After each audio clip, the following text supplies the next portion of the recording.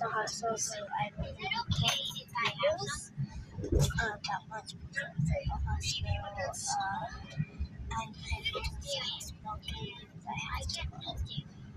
So Maybe next time we'll just go to Spoon. it starts with this I don't understand why you won't see me. I know you get paid. I don't get paid. Bones. Spoon bones. keep constantly talking back to me, kid. and I've explained this then before, I'll explain it